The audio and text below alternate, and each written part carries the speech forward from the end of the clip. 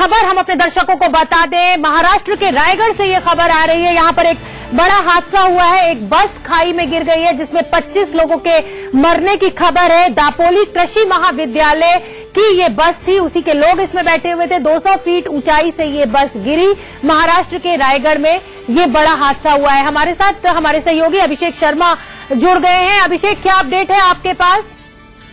देखिए जानकारी ये मिल रही है, करीबन दो सौ फीट से अधिक की जो गहराई की खाई में यह बस गिरी हुई है। पूरा जो इलाका है, पूरा पहाड़ी इलाका है और यहाँ पर कह सकते हैं घाट है, जो पहाड़ों के बीच रोड बनी हुई है। उससे बस जा रही थी और करीबन ढाई सौ, दो सौ ढाई सौ फीट गहराई में गिर चुकी है बस और इसमें पैंतीस लोग जानकारी मिली है पैंतीस लोग सवार थे। अब तो जो पुलिस ने जानकारी दी, पुलिस ने कहा कि पच्चीस लोगों की मौत होने की खबर इसमें बताई गई है और जो दस लोग बचे हैं, उनको निकालने का काम लगातार शुरू है। हालाँकि चूँकि बस काफ़ी नीचे गिरी हुई है, इसलिए बचाव कार्य में बहुत तकलीफ़ भी पुलिस को हो रही है तो हम स्थानीय लोग के यहाँ पहुँचे हुए हैं उन लोग कोशिश कर चलते लोगों को निकाला जाए लेकिन जो अब सवाल ये उठे दस लोग की जो बात है दस लोग जो बचे होने की बात होती है वो लोग ज़िंदा हैं या नहीं है इस बारे में अभी कोई खबर पुलिस नहीं दे पा रही लेकिन पुलिस के लिए भी काफ़ी मुश्किल समय हो रहा है और यह बड़ा हादसा मुंबई के पास हुआ है। बहुत बहुत धन्यवाद अभिषेक इस पूरी जानकारी के लिए।